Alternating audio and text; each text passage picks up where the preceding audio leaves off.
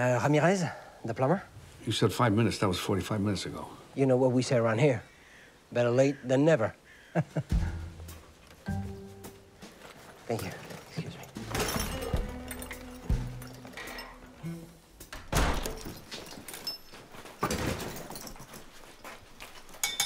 Oi, oi, oi. Oh, la, la, la, la.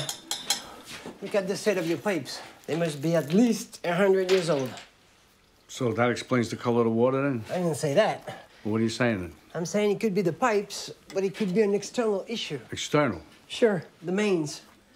But you'd have to take that up with the mayor's office. So what do I do about the pipes now? For now, Yeah. nothing. You, you know, if it's a money issue, we can work something out. Money doesn't solve everything. But you're lucky if you got money, because renovating your plumbing is gonna cost you an arm and maybe a leg, as we say around here. If not, hey, both arms and both legs, right?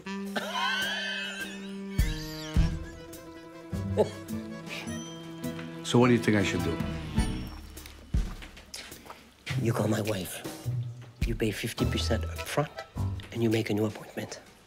You know, we're a family of plumbers. My wife keeps the books. My son's learning the trade at college in Alençon. We're a proud family of plumbers, father and sons, for five generations.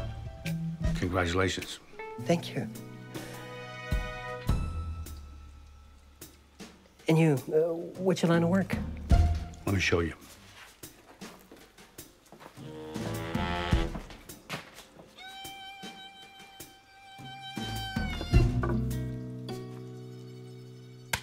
Al Capone always said, asking polite with a gun in your hand is better than just asking polite.